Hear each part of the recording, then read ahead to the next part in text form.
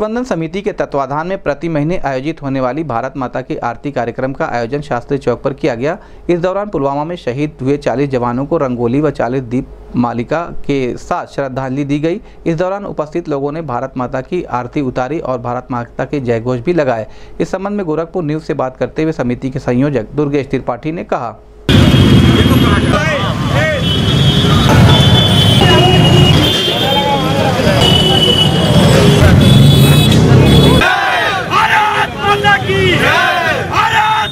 की माता की माता की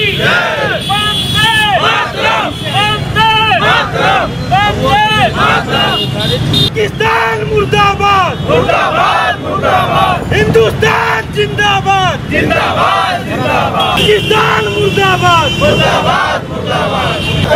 वंदे। वंदे। वंदे।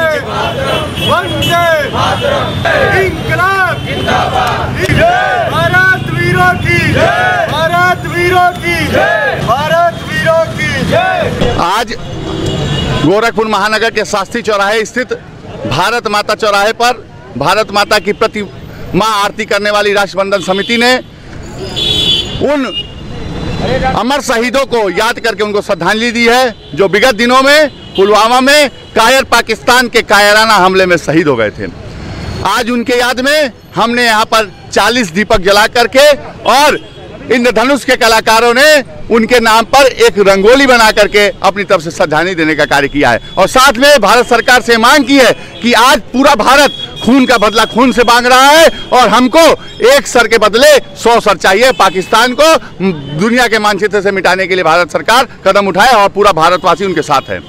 बोलिए, भारत माता की ये प्रतिमा पच्चीस 25 तारीख को आरती का कार्यक्रम चल रहा है। पिछले चार महीने से यह अनवरत चलता रहेगा। तो भारत माता की मूर्ति लगाने की प्रार्थना किया था, जिसको उन्होंने स्वीकार कर लिया। उसके संदर्भ में पत्र भी आ गया है। यहाँ पे मूर्ति लगेगी भारत माता की। राष्ट्रबंधन समिति ने आग्रह किया था लगाने के लिए।